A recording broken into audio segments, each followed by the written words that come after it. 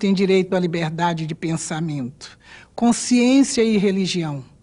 Este direito inclui a liberdade de mudar de religião ou crença e a liberdade de manifestar essa religião ou crença pelo ensino, pela prática, pelo culto e pela observância, em público ou em particular.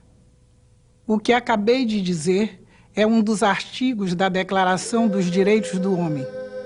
Ela foi escrita mais de uma década depois da minha morte, mas foi por esse respeito que lutei a minha vida toda.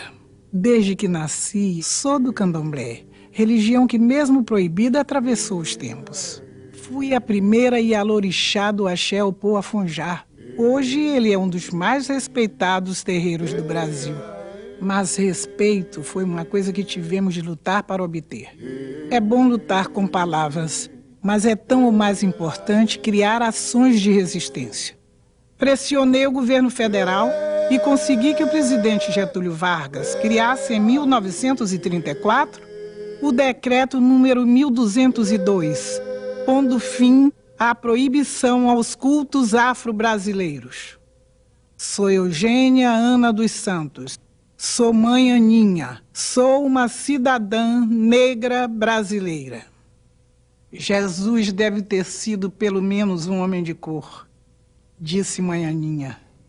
Eu digo, sou Chica Xavier, sou uma cidadã negra brasileira.